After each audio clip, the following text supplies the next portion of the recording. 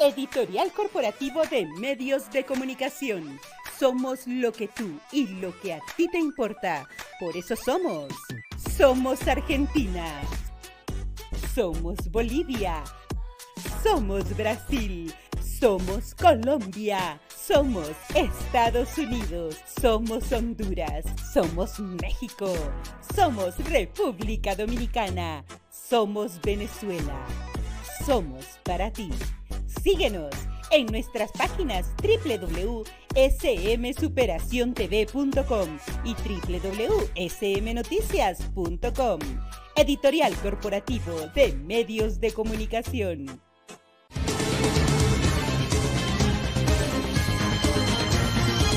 Editorial Corporativo de Medios de Comunicación presenta.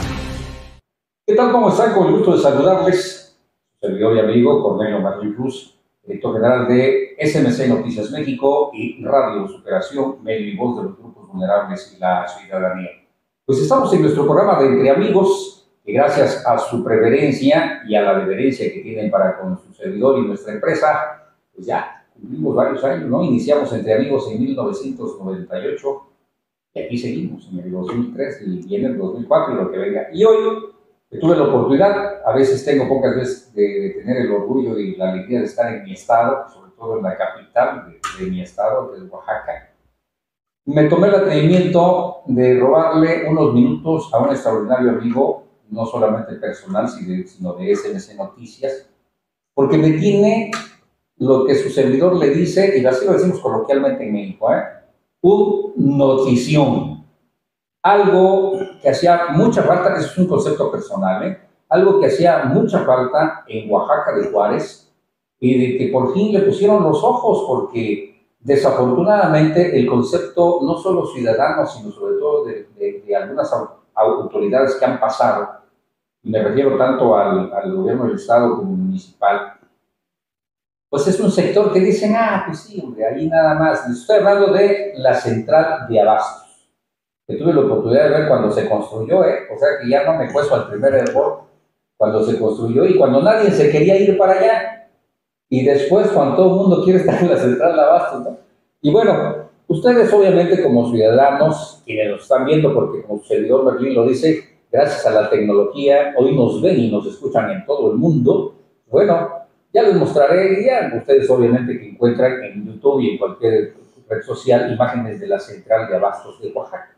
Y van a ver que sí, son comerciantes, allí llega toda la ciudadanía de todo el estado de Oaxaca, de las ocho regiones, a adquirir sus productos, pero también hay niños, y niños que han nacido ahí en la central de abastos. ¿Y por qué digo todo este contexto? Porque seguro van a decir, ah, ya, ya, cállate, ¿no?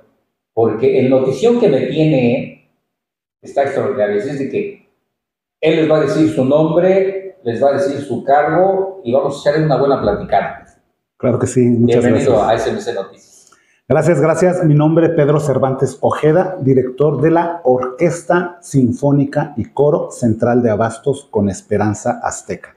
Una orquesta que nace en el corazón del mercado, en el corazón de la Central de Abastos, formada en su mayoría por niños que son los hijos de, las señoras de los puestos, de, las que hacen comida, venden fruta, de los que están acarreando, cargando, etc. Una oportunidad maravillosa para estos niños y chicos y también, por supuesto, con algunos integrantes de algunos otros municipios aledaños. Pero que, Pedro, hay que comentarle a nuestra ciudadanía, porque tú acabas de decir algo interesantísimo. Es una orquesta sinfónica, ¿eh? O sea, Muchos a lo mejor vamos a, ah, sí, hombre, hicieron una bandita, ¿no? O sea, como las bandas que hay, ¿no? O sea, a lo mejor sí, es una bandita y ahí van a estar tocando. ¿no? Es una orquesta sinfónica, ¿sí? En su justa dimensión, como una orquesta primavera, pues, ¿sí?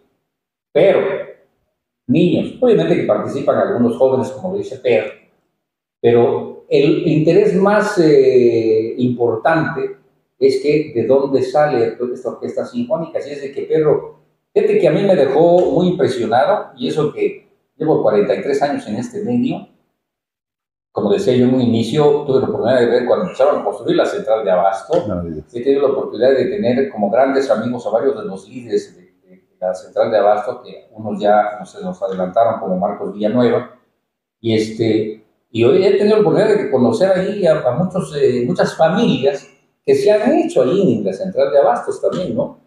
Han hecho su pareja, se casan y ahí han nacido niños en la central de Abastos. Entonces, uno va a la central de Abastos y ves, como decimos coloquialmente, un montón de muchitos corriendo, ¿no? Y otros ahí todos mugrositos y, y prácticamente dicen, pues, ¿qué hacen? Eso no hacen nada, ¿no? Y otro detalle, Per, lo primero que a veces desafortunadamente pensamos como ciudadanía, los futuros delincuentes, ¿no? Así es. Los rateros, los carteristas, porque ¿qué otra cosa hacen en la central de abasto? Sin embargo, eso, qué bueno que, que, que, se tuvo esta visión, Pedro, y quiero que, eh, eh, como el tiempo es corto en cuestiones tecnológicas, espero que no sea la primera vez que me permitas que platiquemos sobre este asunto, sino que le demos todo un contexto a nuestra ciudadanía.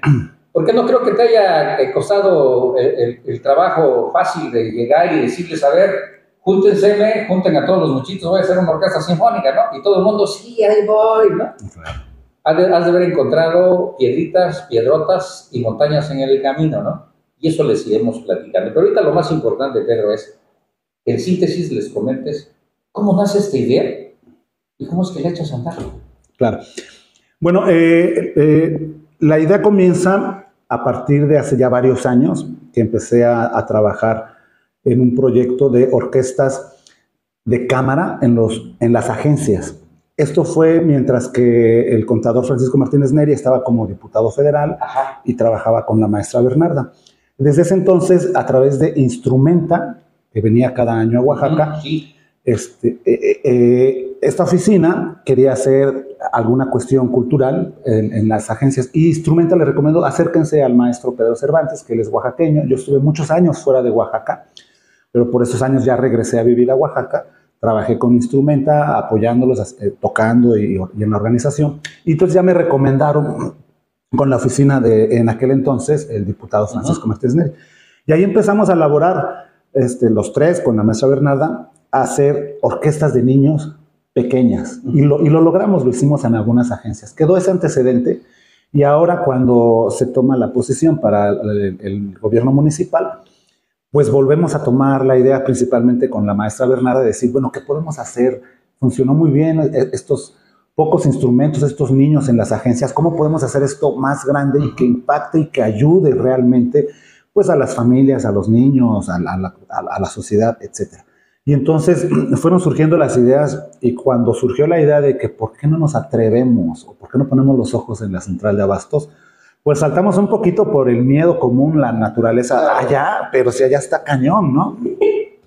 Exacto. Pero pasando los días y, los minutos, las horas, dijimos, pues está cañón, pero es el lugar que, quizá más lo necesita, ¿no? Que quizás más podemos influenciar e impactar. Oye, además a través de la música, Pedro, porque la música, digo, está la frase coloquial, la música es cultura, no, la música es medicina, la música es inspiración, la música es educación. Es vida.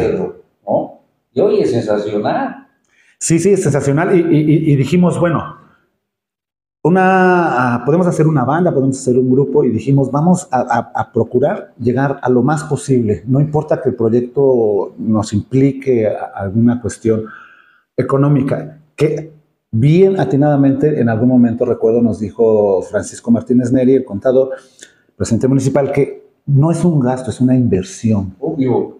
Dice, si, si se nos va un poquito ahí eh, los números, cada niño lo vale, cada familia esta oportunidad este, la puede aprovechar. Y es una realidad, así está siendo. Empezamos con cero niños caminando los pasillos. Recuerdo que también el equipo DIF y la maestra Bernarda nos acompañó en, algunas ocasiones a caminar a los pasillos, a invitar con, con este, tarjetitas, Llevamos algunos niños que ya tocaban o conocidos eh, para que vieran las familias. Perdón, pero ¿llegaste, ¿llegaron directamente con los niños o, tuvieron que hablar primero con los líderes? Porque ya sabes que es central de abastos. No, por supuesto que tuvimos que hablar primero con la, con la central, ahí tienen una oficina, y, pero, pero hay una fuerza, hay una necesidad muy grande, tanto de papás, de autoridades, de niños, de, de hacer algo. En cuanto llegamos pensamos que nos iban a tapar las puertas y todo lo contrario. Este, quieren niños, vamos a buscarlos, que, que hagan algo cultural. Hacía falta, parecía que estaban esperando. Eso. Nosotros teníamos miedo que nos rechazaran, pero fue todo lo contrario. Nos pusieron a inspectores, a policías, íbamos caminando por los puestos con policías, con los inspectores, nosotros como maestros. Le repito, por ahí conseguimos algún chico que ya tocara, pusimos a algunos niños a tocar eh, eh, para que vieran otros niños y así fue como se fueron acercando niños, madres. ¿Y por qué hacen esto? Ah, vamos a armar una orquesta y vamos a armar una orquesta. ¿Y dónde nos apuntamos? También hubo quienes nos rechazaron y quienes nos vieron feo, con toda honestidad. Este, quienes, a ver, traen permiso o de dónde vienen y ya cuando veían que íbamos con alguna autoridad, dicen, bueno, pues pasen. Tuvimos algunos rocecitos, los menos, quiero decir. Sí, claro. Y en términos finales, pues después de dos semanas de, de estar recorriendo y de hacer audiciones, empezamos con casi 200 niños este, inscritos. Ajá. Y bueno, qué bueno, porque era más o menos el, el objetivo para arrancar. Claro.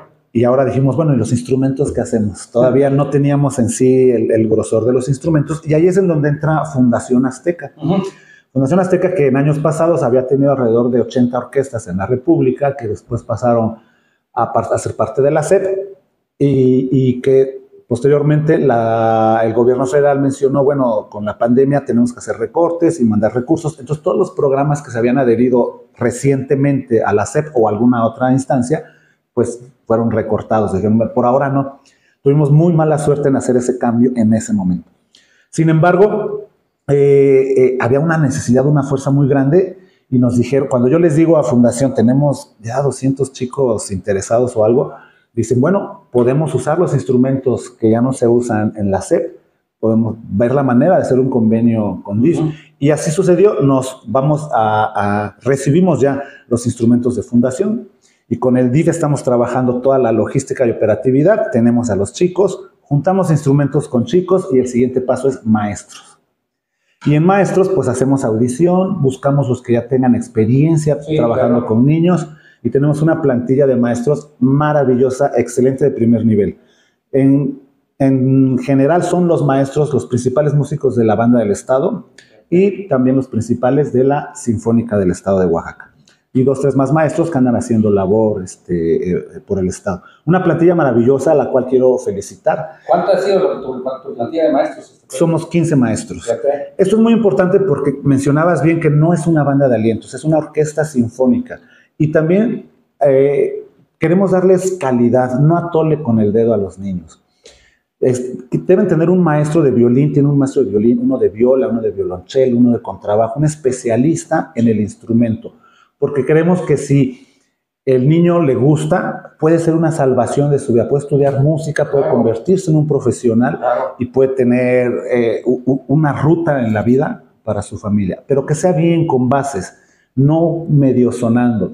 Deben tener la técnica como, como es Sí, del como instrumento. debe de ser, ¿no? Porque, como, como bien lo dices, Pedro, o sea, para muchos, mira, y, y yo creo que no me dejarás mentir, eh, con estos añitos que tengo encima, ¿no? Digo, son 43 en el periodismo, pero de edad ya cerca de los 70.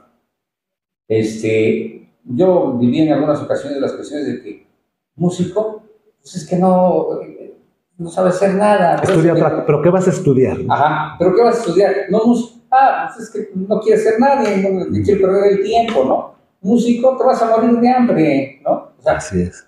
desafortunadamente, somos la misma sociedad la que pone las piedras, ¿no? Sin embargo, cómo han ido cambiando las cosas, ¿sí? Y, y, y como dices tú, Pedro, y me imagino, ¿no? Te estoy imaginando recorriendo la central de Abastos y de repente algunas a decir, ah, está loco, ¿no? O sea, ¿qué, qué, qué va a saber ese muchito, hombre? ¿No? Es el único que sabe es correr, ¿no?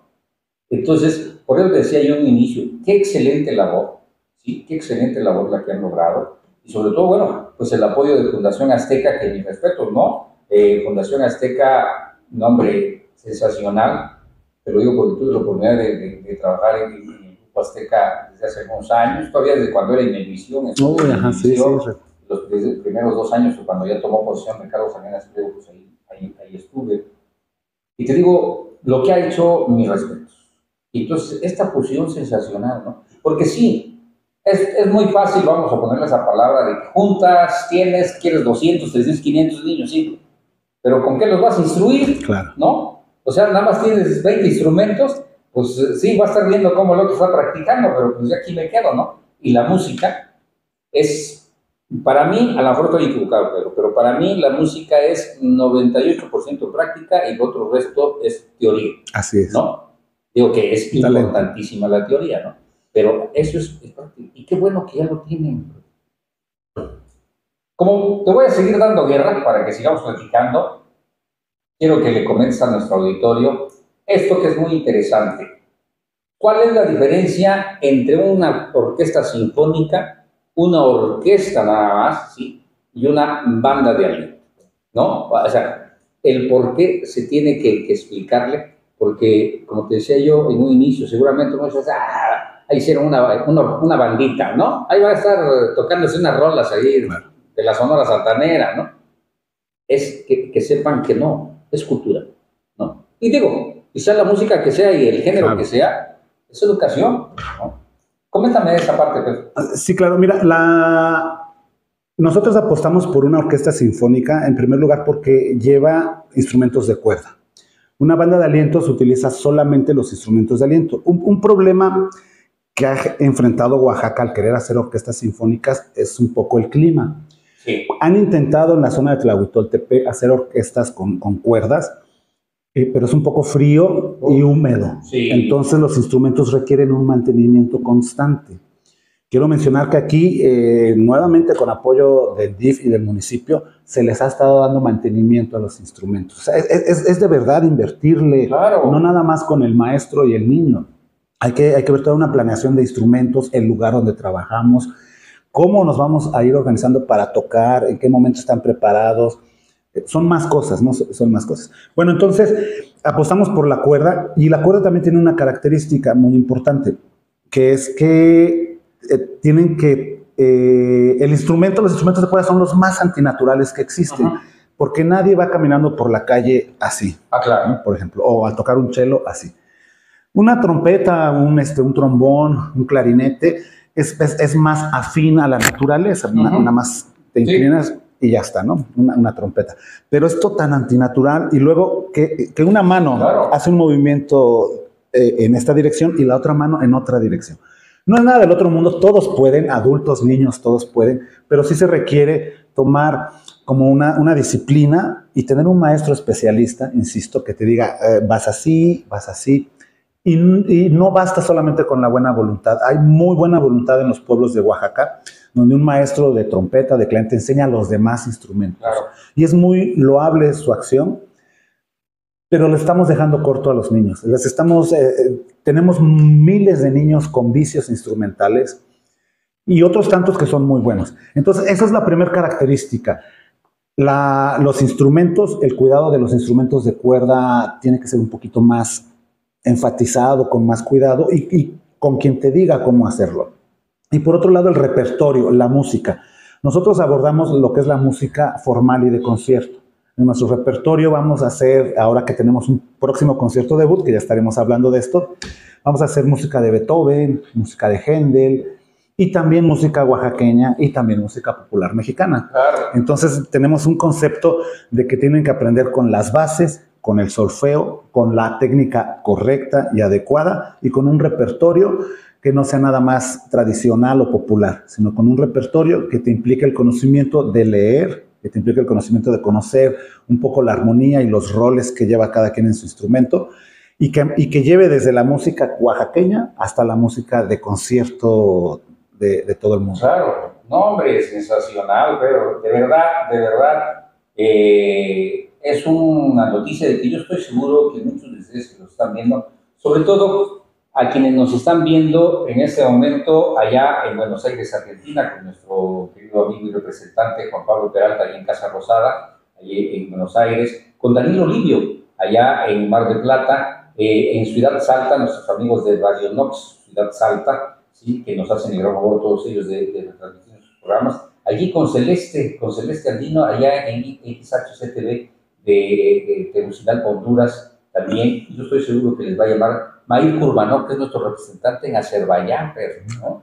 Es nuestro ahí Mair Kurbanov. Y también a nuestro amigo ahí Ángel Infante en Barquisimeto, allí en Venezuela, de la puracrema.net. También les va a mucho llamar la atención porque ellos... Eh, atesoran mucho la, la, la cultura y sobre todo la cultura mexicana y, y, la oaxaqueña, que desde que están con nosotros en SMS Noticias, Pedro, pues cómo han conocido Oaxaca, ¿no? Y, y están sensacional, así de que yo aprovecho a enviarles un saludo a mi querido Memo Cárdenas, allí en Nueva York, de, la Alianza Internacional de Radio, también para que usted lo que, lo que se hace en Oaxaca, ¿no? Y ahí en Colombia también, ¿no? Excelente. Esto es lo sensacional, Pedro, de la tecnología. Cerremos con esto para que en la próxima que, que, me indiques nos volvemos a sentar claro y vuelvo a robar unos minutos. No importa que esté yo en la Ciudad de México, ¿eh? tú nada más nos me hablas y me dices, fíjate que hay que... Y, y yo Gracias. digo, por eso existe ese aparatito que vaya arriba, que hace 45 minutos de allá para acá, ¿no? Uh -huh. Sí, sí. Entonces, que le comentes a nuestro auditorio cuándo se tiene ya esta sorpresa, cuándo ya se echa a andar, cuándo ya se presentan, en qué lugar se pueden, se van a presentar, bueno, para disfrutar esta, esta maravillosa, ya no idea ni proyecto, sino esta realidad. maravillosa realidad de una orquesta sinfónica, y lo digo así, despacito y con todas sus letras, de la central de Abasto, de los niños de la central de Abasto, ¿eh? para que vean, no les estoy hablando de Sabelique o de la colonia Reforma, no, estoy hablando de la central de Abasto, donde también hay mucha cultura perro, por favor. Claro. Pues primero mencionar que eh, aparte de ser una orquesta sinfónica, lo hemos repetido varias veces, es completa y de buen tamaño. Estamos hablando de 90 niños que forman la orquesta. Estamos hablando de que incluimos, aparte de los instrumentos de cuerda, como ya mencioné, violín, viola, violonchelo con trabajo, también tenemos instrumentos de alientos que, que, son muy pocos, muy poco conocidos y que cuesta mucho trabajo conseguir maestros especialistas. Me refiero en particular al fagot y al oboe. Instrumentos de doble caña que normalmente se ocupan más en Europa o en Estados Unidos. Pero acá, para tener la orquesta completa, eh, tenemos oboe, tenemos maestro de fagot, tenemos maestro de corno francés, entonces, es lo primero, son casi 100 niños los que forman la orquesta. No es una orquesta de 20, de 30, sí, sí, sí, sino es apostarle a que impacte y ya llegue a, a muchas familias. Tenemos, como les mencionaba, un repertorio variado que va de lo tradicional, lo mexicano y lo clásico. Y tenemos un año preparando este material. Como les mencionaba, los primeros meses fueron con instrumentos virtuales y en, enfatizando el solfeo. Después agarraron el instrumento y a preparar este repertorio no nos hemos presentado formalmente hasta el día de mañana a las 19 horas en el Teatro Macedonio Alcalá. Invitamos a los oaxaqueños que estén por acá y a los que no están en Oaxaca que nos sigan a través de la transmisión en línea que se va a llevar. Por supuesto, le vamos a mandar la transmisión. Se va a transmitir por las diferentes dependencias del municipio. Se transmite por concertistas de Oaxaca, se transmite por una pantalla en la Alameda que vamos a poner lo que está sucediendo en el teatro en vivo va a estar pasando en la pantalla en la Alameda. Así que todavía me parece que hay unos, algunos boletos muy pocos, parece ser que ya está lleno, pero invitamos a la sociedad y si no encuentra ya boleto, pues ahí en la Alameda lo, lo, lo, puede ver en la pantalla, en vivo también lo que está sucediendo o en la tecnología maravillosa, cualquier. Con eso de que agarre usted, puede estar con su celular sentadito ahí también en el hombre, ¿no? Así es. Y vale la pena conocer ya este primer resultado. Quiero mencionar que es realmente el nacimiento, aunque llevamos casi un año, el verdadero nacimiento de la orquesta, nosotros lo vemos como que ha estado en gestión. Ahí se está alimentando, está creciendo, está aprendiendo. El día de mañana nace. Y aunque ahorita hemos trabajado mucho por esta orquesta que ha estado en gestión, la verdadera vida comienza a partir de mañana. Cuando la presentamos ante la sociedad, cuando decimos que son niños no solo decimos, sino mostramos que están cambiando. Hay cosas maravillosas, mira. Eh, vi, fuimos a ver el scouting al teatro y me acompañaron dos papás, una maestra incluso, y me decía, es la primera vez que entro, la administradora, es la primera vez que entro al teatro. Y con mucha emoción. ¿Cómo crees que estarán los niños? No, sí, que, que, están acostumbrados a, a, caminar entre los charcos, a estar viendo eh, drogadicción, robos, asaltos. Ahora van a entrar a un recinto cultural donde el protagonista son ellos, por primera vez en su vida. Son jóvenes, pero es una oportunidad donde eh, están tan emocionados. Yo todavía no entran y ya he visto lágrimas, ya he visto, maestro, de verdad vamos a entrar, me jalan del brazo, de verdad vamos a entrar al Teatro Macedonio Alcalá. Por supuesto Porque que además, van a entrar. Pedro, es eh, hasta cierto punto sentimental. Porque estoy seguro, Pedro, como tú me cuentas ahorita, que muchos de sus papás, como dices, o sea, el Teatro Alcalá era, es un lugar inaccesible para ellos. En primera, por cuestiones de, de, de la desafortunada división social, ¿no? Así es. O sea, pues, ¿cómo va a entrar alguien de la de, del de Abastos ahí al teatro, hombre? por favor, ¿no? Y mucho menos sus hijos, ¿no? Sí, van a destruir. Claro. Y eso, eso es importantísimo, ¿no? Como tú dices, sí, ya me imagino, o sea, imagínate, por primera vez estar en un teatro, ¿no? Eso es sensacional. Así es de que yo los invito a que, a que vean esta, esta transmisión ¿sí? Estoy platicando con, con el amigo Pedro este, en este 9 de, 9 de agosto.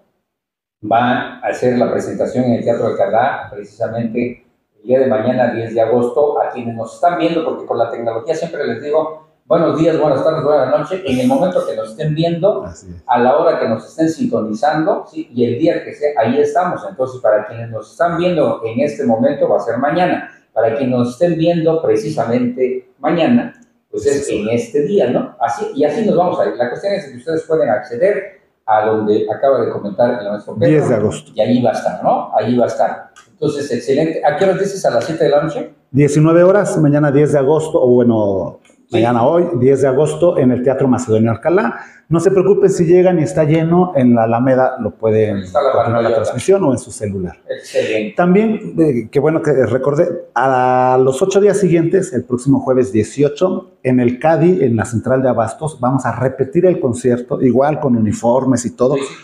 Para los que no pudieron entrar al Teatro Macedonio Alcalá, para los amigos, para toda la gente de la central de Abastos, que caminen de sus puestos un ratito y vayan a conocer el trabajo que están haciendo los mismos niños de la central, claro. Yo, yo, yo, yo me adelanto a decir, este, Pedro, que después de que vean la presentación en el Alcalá y ahí en el Cádiz, este, otros niños más se van a juntar, ¿eh?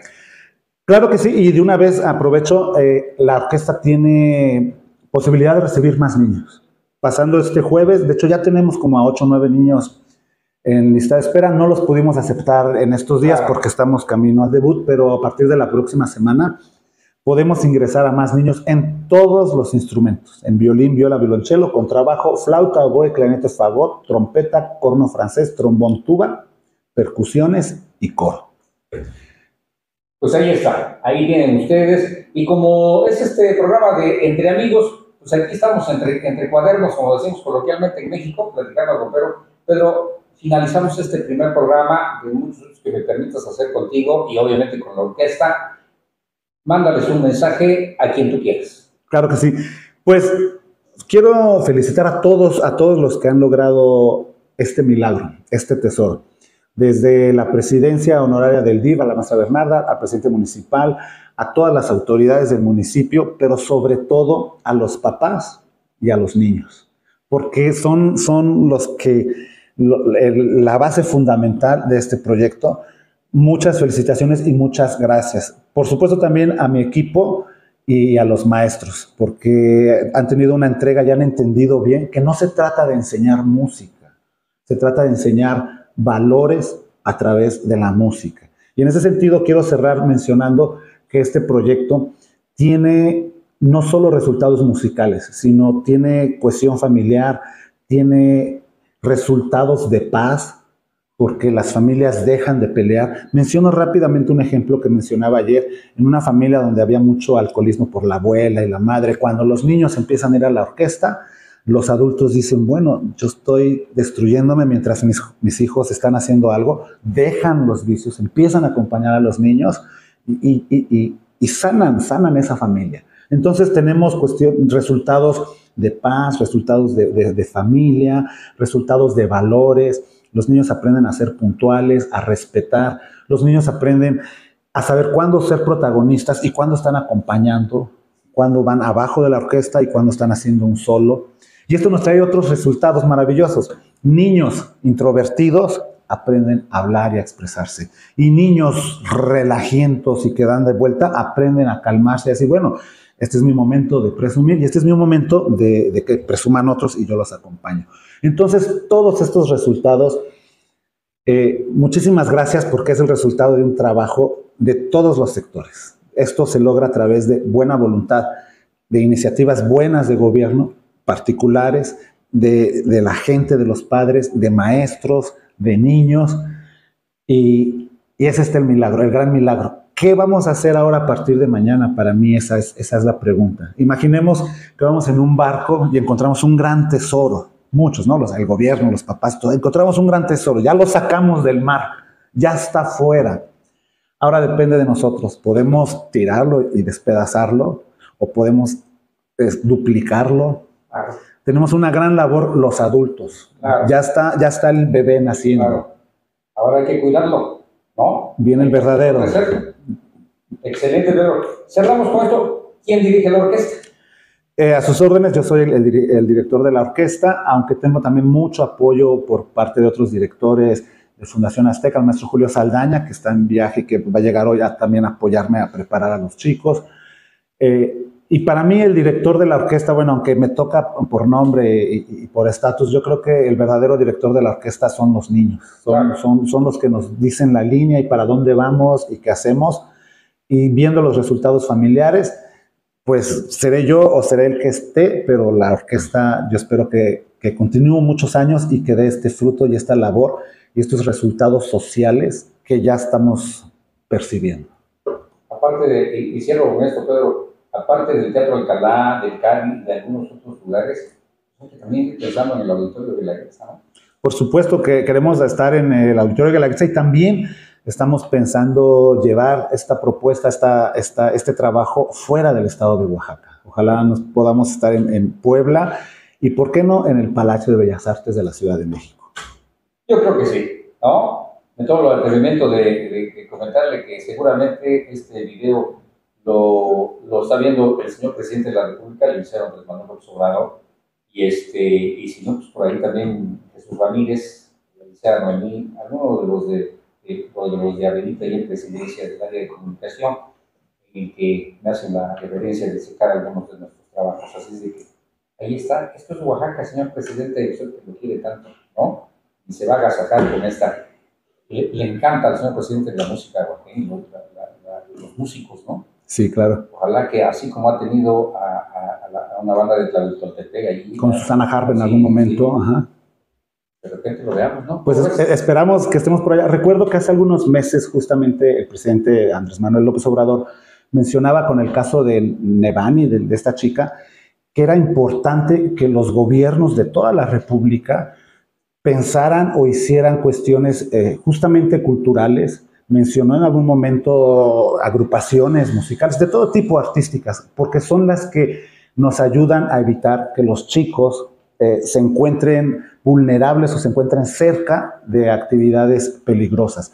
Mientras estén desarrollando una actividad cultural, eh, eh, teniendo grupos de jóvenes donde hacen cuestiones productivas, vamos a estar evitando muchos, muchos problemas que aquejan a nuestra sociedad. Entonces, esto es uno de los pocos lugares en la República donde han respondido y decir, claro, vamos, vamos a cambiar, en vez de, de, de pagar más policías, vamos a pagar más maestros para que nuestros chicos crezcan con otra visión, con otra cultura, con otra sensibilidad, ¿no? Y evitemos tantas cuestiones terribles que hay. Definitivo. Bueno, muchísimas gracias por tu tiempo.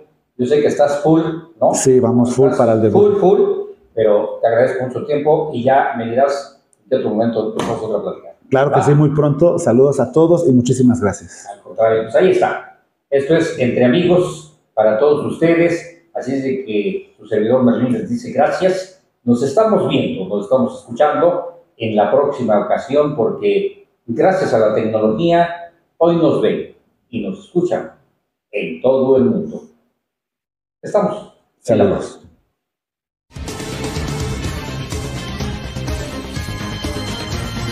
Editorial Corporativo de Medios de Comunicación presentó